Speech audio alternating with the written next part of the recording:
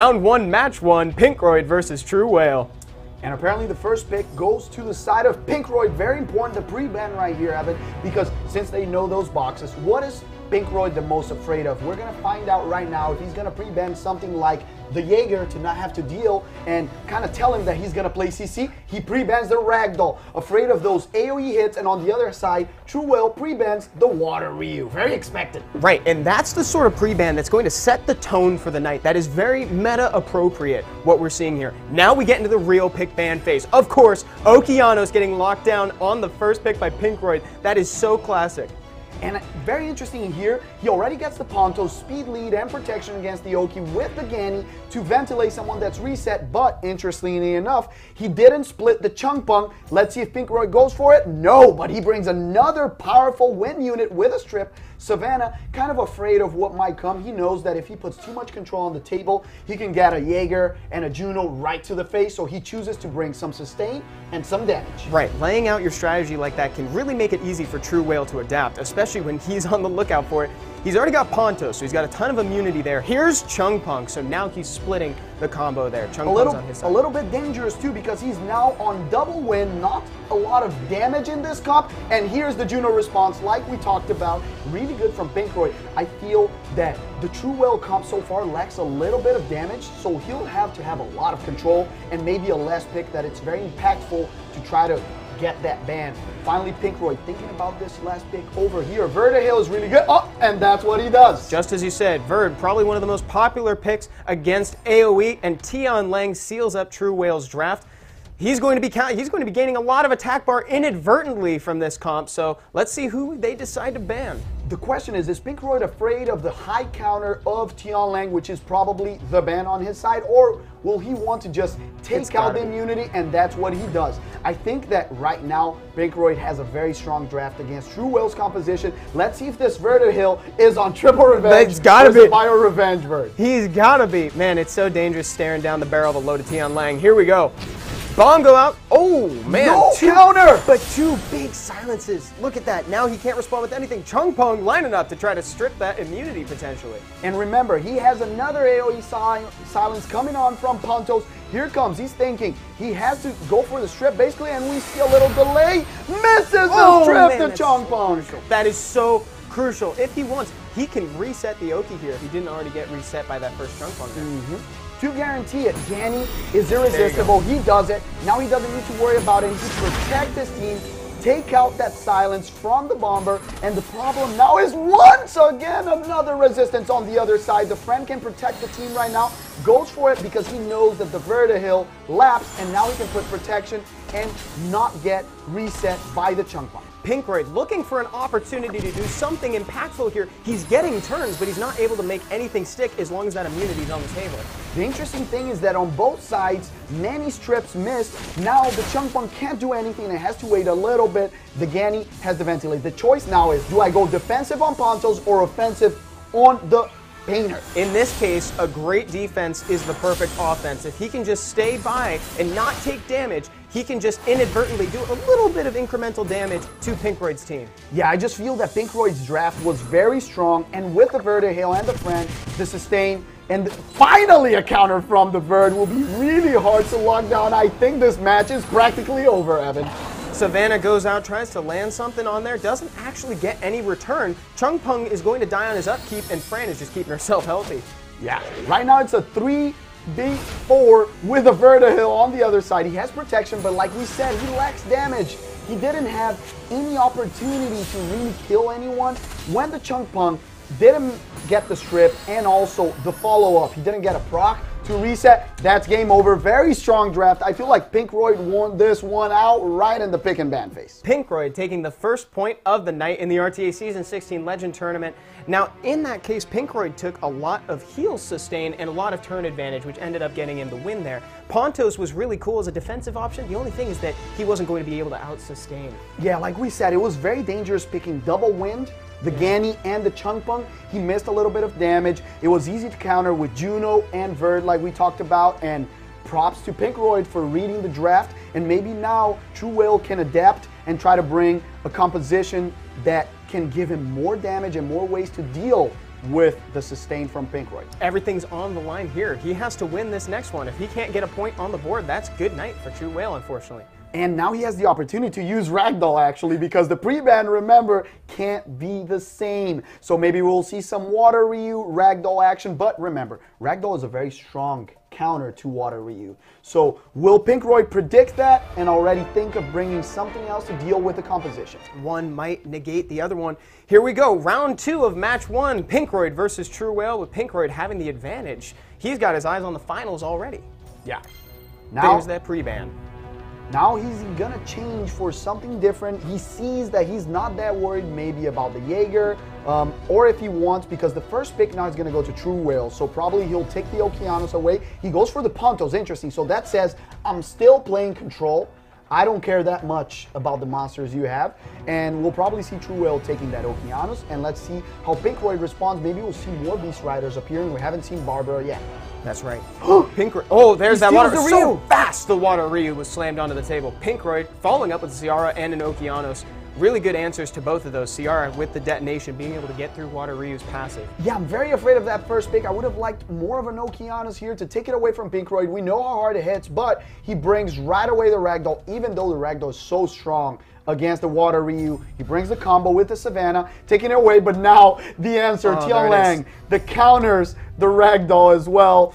And uh, Now, I'm- Tr- True Whale was in a position where he wanted to ban that Oki. You could almost see it in those picks. He wanted to ban that Okeanos, but then PinkRoid just follows up with that Tian Lang, puts him in a really difficult position. But now he has double speed lead, double starter. The thing is, if he bans the Savannah, if True TrueWhale doesn't have the Savannah, does he have enough follow up to take care of PinkRoid?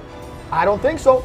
And that last pick tells me he Oh! the Savannah. Great ban from PinkRoid. This might be another shoe in for him. If he resists any of those silences or resets, Evan, it's game. True Whale is going to have to make something happen right now. These opening turns are so important for him. Let's see who gets the first turn.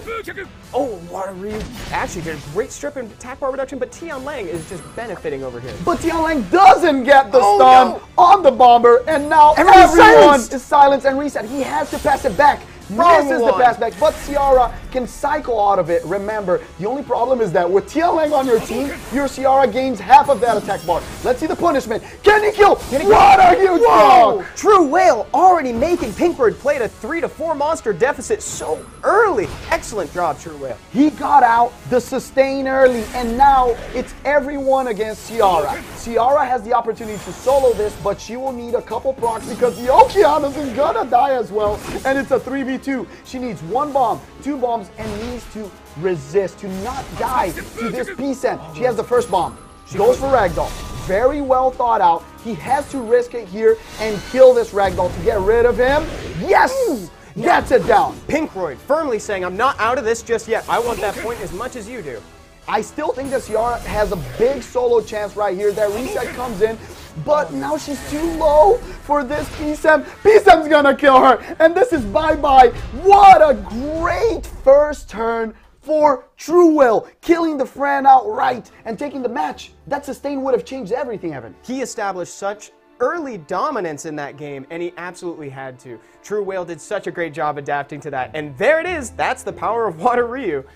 We talked about it was all about the resist and the silence. And the thing was, Tian Lang did not do his job. He didn't stun the bomber. And once the Cabal bomber came in and silenced everyone, the sustain from Fran gave a huge opening. So very well thought out. And what we talked about the last match, adaptation. He needed damage, and the damage was Ragdoll. With that beautiful proc, he killed the Fran. That was excellent. Man, silence, such a great option for True Whale. Basically saying, I get to decide what your monsters do when you get to play with them. You're not really playing your turns. I mm-hmm. am. Ladies and gentlemen, we have a round three on our hands before we move on to the next phase. Let's go ahead and see PinkRoid versus True Whale. This is going to determine who moves on to the finals. Deciding match, Evan. First pick for Pinkroyd once again. Maybe we'll see the similar pre-bans to the first one, or knowing that he can take that Water Ryu, maybe True Whale tries to change the pre-ban a little bit here, and lets PinkRoid take it and steal the Okeanos. Nope, same thing. We're back to round one with our pre-bans right now. I think PinkRoid is really happy about it. Maybe True Will will try to change that third to fourth pick with the Chung Pung double win to not make it that easy for PinkRoid. And Okeanos should be seen on this side once again. There he is. Okeanos locked down right away.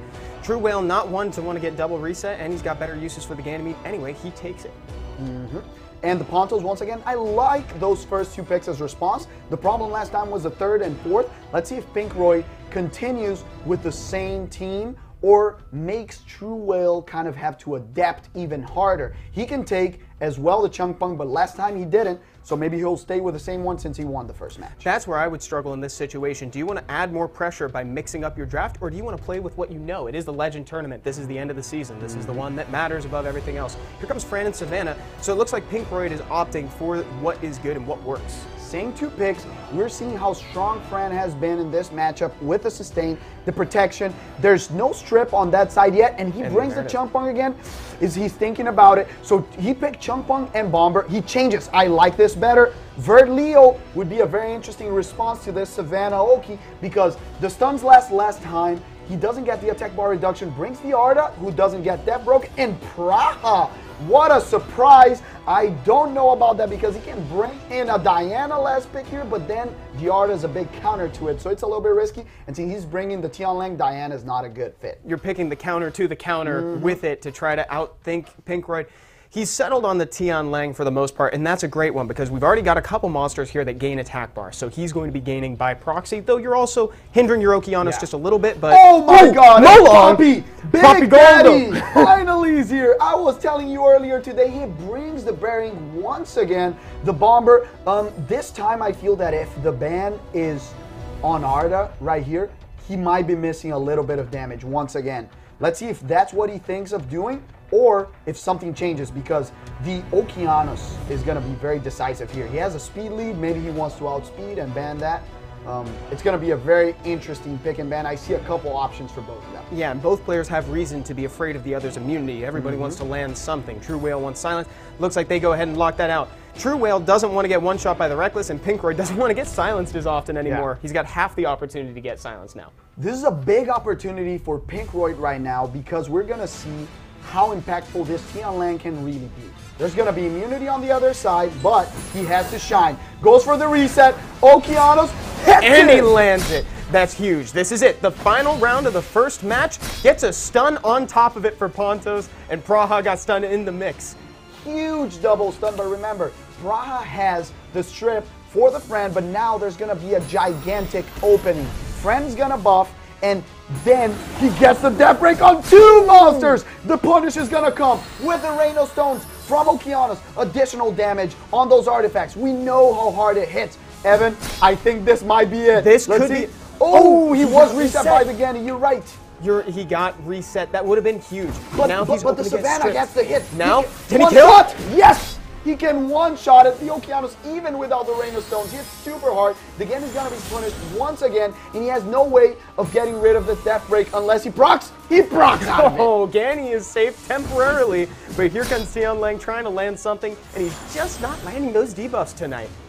Yes, and now this Ganny had a very important proc because that means that he gets the seal magic a little bit earlier. But how do you deal with this amount of damage? You need to protect yourself with the Pontos and hope that you get some extra turns with the Ganymede to keep resetting and controlling the opposing team. I'm getting a weird amount of deja vu here. We've seen this before from True Whale's side, where he tries to armor up on his turn and just try to wait out the damage. PinkRoid has got a loaded cannon in He got the proc he needed, Evan. He can reset one more time. The question is, do I go for Okeanos or do I go for the protection right now? What is he gonna do? He goes for the protection. He goes for Fran. Doesn't want any sustain, but can he withstand the amount of damage that's coming out from the other side? Pontos here with the potential silence. Let's see how many he lands.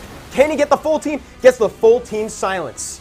Beautiful. But the Okeanos has a chance to pass it back, and he does so. The question right now is, he can protect the team. The Oki will have the cooldown back, but the Pontos is very good here. Look, This guy is getting punished. He's almost dead, and the heal from Arda is still on cooldown. Can this Ganny survive long enough to deal damage? Because the Arda is not hitting that hard yet. True Whale doing a valiant effort right now, but he's hanging on by a thread. Ganymede doing his best impression of a wall, trying to absorb damage and ventilate his team while he can. He's trying to be the healer that his team needs. He needs lots of stuns from this Artamiel. The Fran doesn't crit. Here it comes. Can he get rid of this heal? Oof! Almost. He just needs half more. Half of that again to kill the Fran. He's poking away. He's using every turn he can. Try. Missed it. Oh, okay. A proc from Ganny can be gigantic. He kills it, doesn't proc. So it's gonna be a trade. No! She doesn't kill the Ganny, Evan. Was that a miss crit?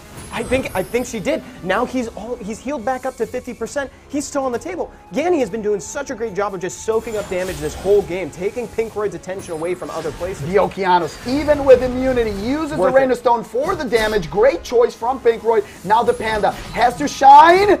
Doesn't strip accuracy. or stun. The Ganny can reduce attack bars and have a huge opportunity. Does he go for the heal? Does he go for the reduction? He has to reduce.